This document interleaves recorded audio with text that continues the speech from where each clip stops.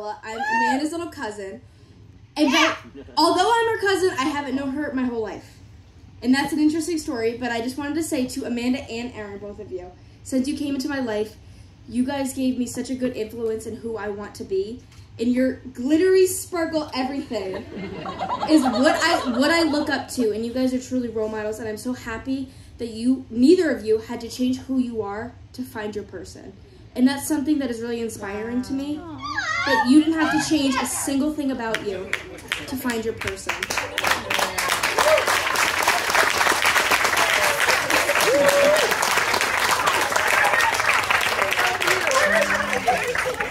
Let's all raise a glass to that one.